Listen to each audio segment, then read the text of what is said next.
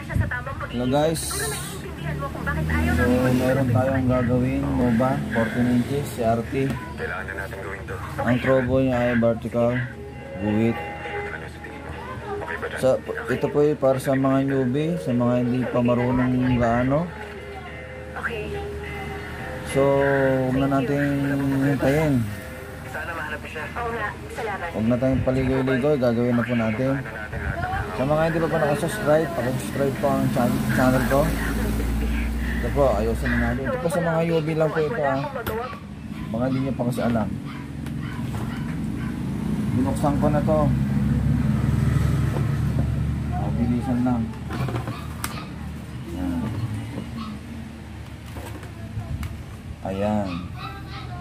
14 inches CRT Nova. Ayan. Pero sharp yung ano niya. Picture tube. Basta ganitong ano China board. Basta ganitong design, China board po ang, ang ano nito. Ang board.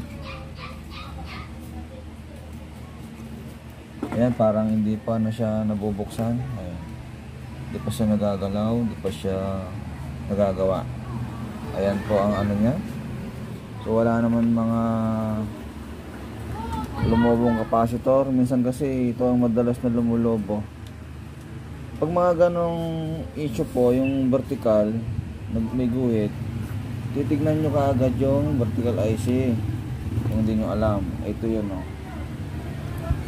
Yan, ito yun. Ang ano nito, 70 040, 70 041. Yan, ito yung IC niya. LA 78040 ang ano niya. Ang number pero hindi ko po makita eh. Labo. Sa ganyan.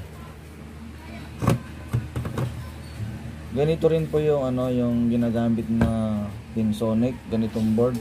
Basta malaking IC minsan gumagamit din ng Astron pero kadalasan yung Astron naman maliit yung jungle system niya. Hindi ganito kalaki so umpisa na natin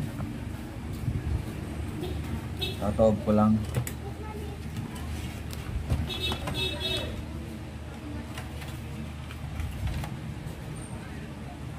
So, ayan. Papakita ko lang po.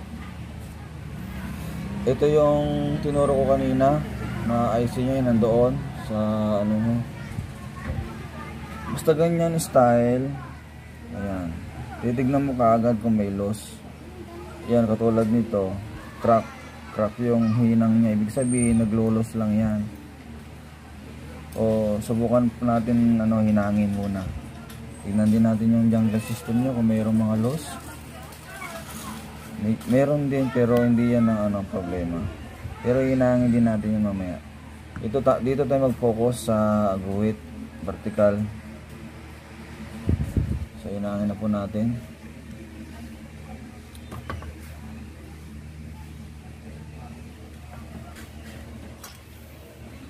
mga di pa marunong po dyan, paki ano na lang. Pag may mga ganyan kasi, titignan nyo yung mga hinang-hinang nila. Kung may mga crack doon kasi nagsisimula yun eh, kaya nasisira.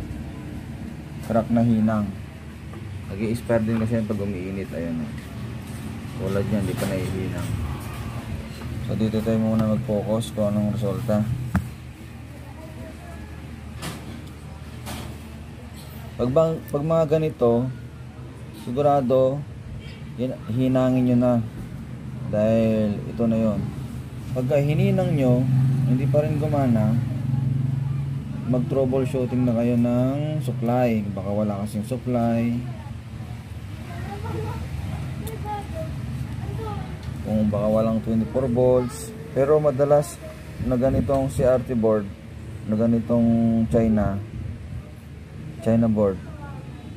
Madalas na ano yan, naglulos lang. Kaya hinang lang yan. Ayan. Wala akong ginalaw kundi hinang lang natin. Try natin.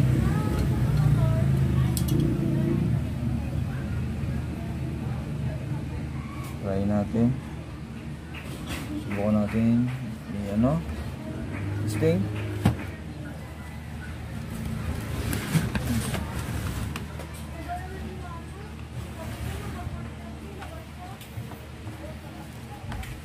Tapos, isasaksak ko na.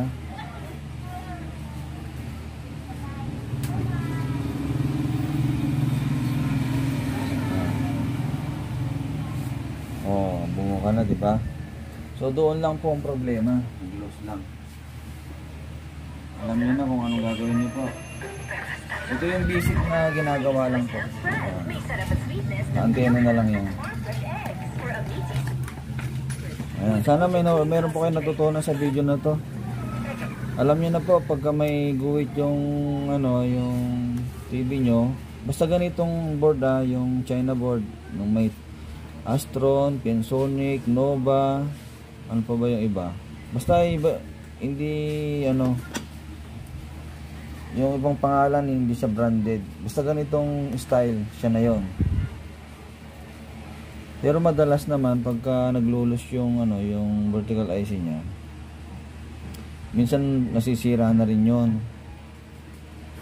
Dahil sa sobrang ano, marami ng loose contact, doon din nasisira. Mabuti ito hindi nasira. Pero madalas loss lang to talaga. Kaya ganun lang po ang gagawin niya. Sana po nakatulong sa video na to. Sa mga hindi po nakasubscribe, pakisubscribe po. Maraming salamat po.